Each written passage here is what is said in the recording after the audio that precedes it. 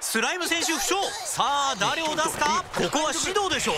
指導。指導あるでしょう。指導指導指導です悩むスリルが癖になる新カードパック登場。ドラゴンクエストライバルズ。ほらほらほら。ここで時間切れ。おっとスライム選手負傷。さあ監督誰を出すか？スピードのメタキンか？守りのゴーレムか？メタキンか？ゴーレムか？メタ悩むスリルが癖になる任天堂スイッチでも。ドラゴンクエストライバルズ。おっと優しい。